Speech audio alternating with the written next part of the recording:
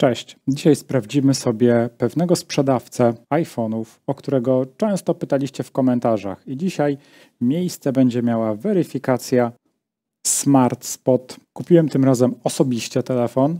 Nie otwierałem go jeszcze. Telefon jest dosłownie powystawowy. Był na wystawie jako prezentacyjny telefon. Stał przetarty szmatką, złożony. Wystawiona mi została faktura imienna. I tyle. Co my tutaj mamy? Mamy pudełko firmowe, w sensie sprzedawcy. A w środku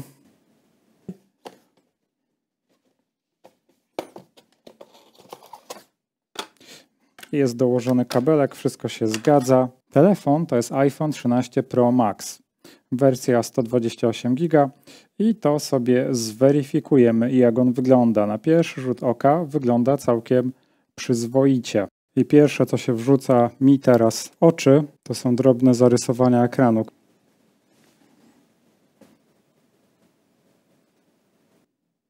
Jedno zarysowanie, drugie zarysowanie. Po zaklejeniu szkła pewnie nie byłoby tego widać, ale jest. Ja tego nie zauważyłem. Jeżeli chodzi o ramkę, jest całkiem ok. Lepsza niż poprzedni telefon.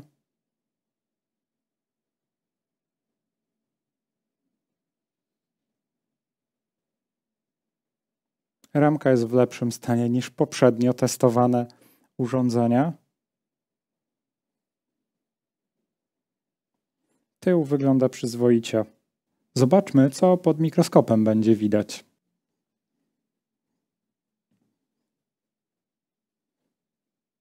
Oczywiście zaczynamy od siateczki głośnika rozmów. Jest zabrudzona, ale drożna. No i tu widać te zarysowania. Nie są jakieś głębokie, chociaż są wyczuwalne pod paznokciem. Jest ich trochę. Więc jak będziecie kupowali osobiście, to musicie zwracać uwagę na coś takiego. Poza tym brud w ramce, telefony mogą być używane. Ten nawet jest powystawowy, bo był na wystawie.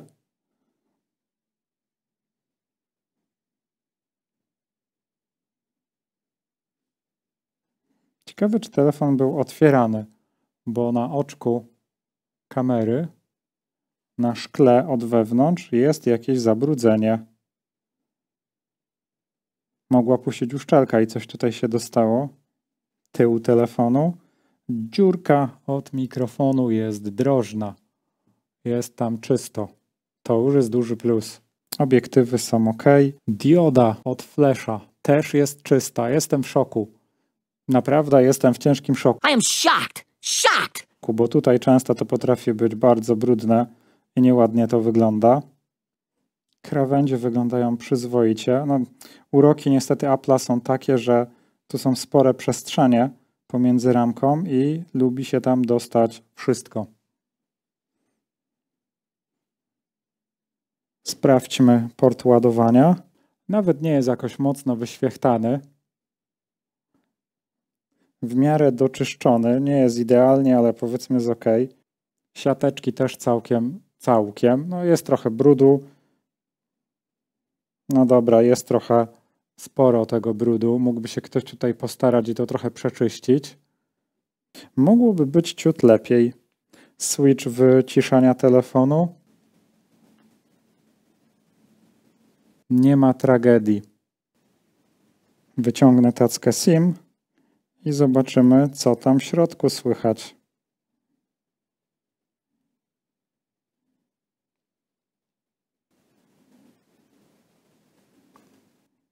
Tu jest model telefonu. Wszystko wygląda tak, jakby telefon był po prostu trochę używany.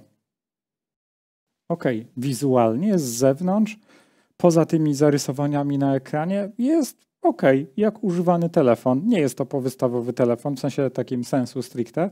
Jest to telefon używany, może polizingowy albo coś takiego. Włączmy sobie go i zobaczymy, co tam więcej słychać. A na końcu go sobie rozbierzemy i zobaczymy do środka, czy on faktycznie taki dziewiczy jest.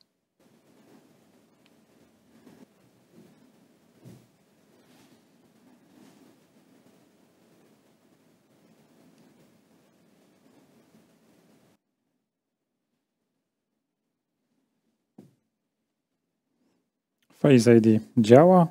Te rysy na ekranie nie są widoczne podczas e, jakby użytkowania telefonu. Kompletnie ich nie widać w tej chwili.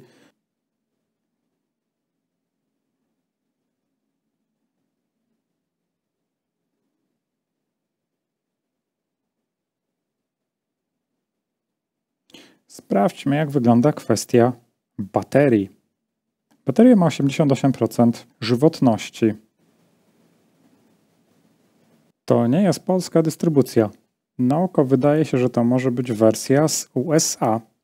O tym, że telefon jest z rynku amerykańskiego, mówi nam to coś tutaj. Ten dziwny, że tak powiem, obiekt jest to antena mikrofalowa. Zobaczymy zaraz po odczycie w TrueToolsie, co tam z baterią słychać. Sprawdźmy jeszcze dołączony kabelek do zestawu. Kabelek jest typu USB-C. Nie ma na nim żadnych informacji mówiących o tym, co to jest za produkt, kto go wyprodukował i tak dalej. Więc będzie to jakieś, no nie wiem, zobaczymy, co, co to będzie. Nie liczę na wiele po takim czymś. No, jakiś, jakiś zamiennik.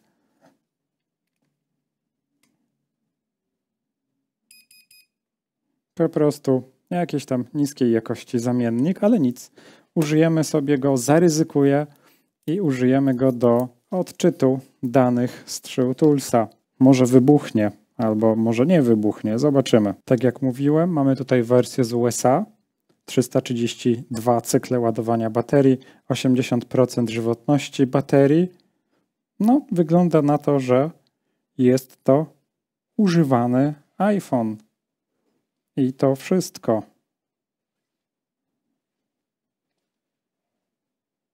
Wstępnie wygląda na to, że mamy po prostu używany polizingowy iPhone. Wersja softu 16.5.1 plus minus jakiś półtora roczny telefon. Na razie wygląda wszystko przyzwoicie i gdyby nie porysowany ekran, to mógłbym powiedzieć, że jest całkiem spoko, ale zobaczmy, co kryje wnętrze i czy to było naprawiane, czy też nie. Lecimy dalej z tym tematem. Do otworzenia telefonu będę potrzebował kilku rzeczy: podgrzewacz, sam telefon, żyletka, buteleczka z izopropanolem, podważaki, kostki do gitary i kilka wkrętaków. Zaczynam od wykręcenia dolnych wkrętów Pentalop.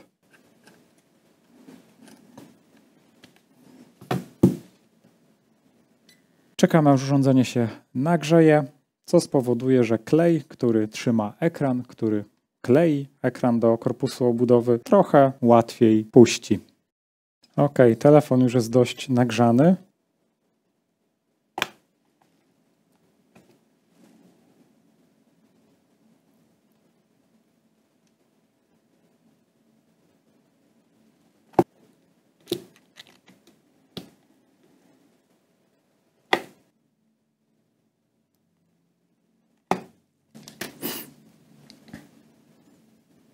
Część uszczelki już odeszła, ale to jeszcze nie wszystko. Podgrzeję to, żeby w tym obszarze łatwiej było mi ściągnąć uszczelkę. Ta metoda na żyletkę jest dość wymagająca, aczkolwiek jest bardzo bezpieczna do ekranu. Oczywiście, jeżeli zachowujecie przy tym dużo rozsądku i precyzji. W innym przypadku możecie sobie zrobić krzywdę albo uszkodzić telefon i ekran.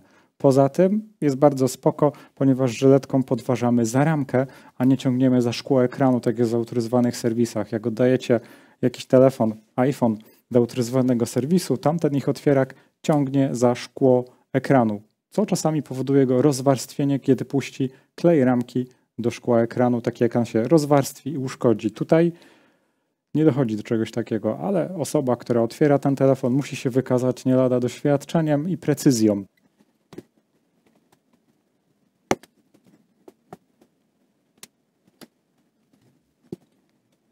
Teraz wspomogę się alkoholem izopropylowym. Marker na karcie SIM jest ok, nie jest odbarwiony.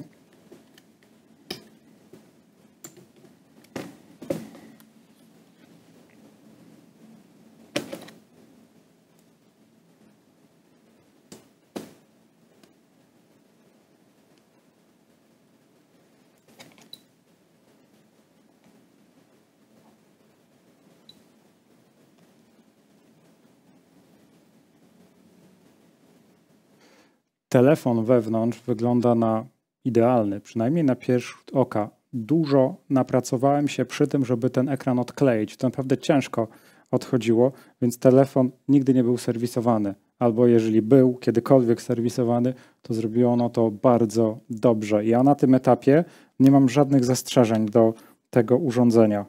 Absolutnie, nic mi tutaj źle nie wygląda. To urządzenie w ogóle wygląda ładnie. Czasami nowe urządzenia, które otwieram, wyglądają gorzej, bo mają jakieś odciski paluchów i tak dalej. Tu wygląda to wszystko przyzwoicie. Szybko rzucę sobie jeszcze okiem na elementy kamery przedniej, bo tam widziałem jakieś paprochy. Nic szczególnego w tym miejscu nie widać. To mogły być jakieś zabrudzenia na szkle. Tak, prawdopodobnie jakieś drobne zabrudzenia. Może w tym miejscu uszczelka puściła, albo coś nie tak było w fabryce. Jedyne, co tutaj jest nie halo, to Apple, mianowicie brud pomiędzy ramką urządzenia a ekranem. Chociaż nie ma go jeszcze tak tragicznie dużo. To jedyny problem, ale to jest problem Apple'a, czyli zabrudzenia, które się tutaj dostają pod tą ramkę. W tym urządzeniu te zabrudzenia są naprawdę w symbolicznym, w symbolicznym, w symbolicznej ilości.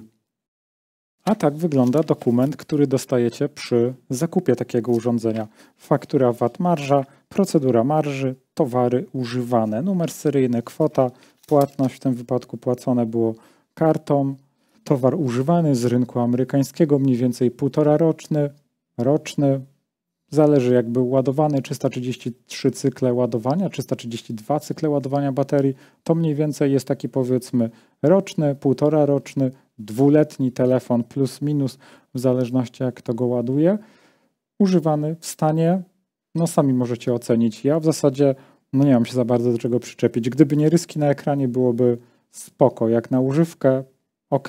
Rynek amerykański, no jedyna różnica jest to, że ma tą komunikację microwave. W Europie w zasadzie to do niczego niepotrzebne nie wykorzystamy tego za bardzo, ale tak poza tym nie ma się do czego przyczepić, może, może poza gównianym kablem.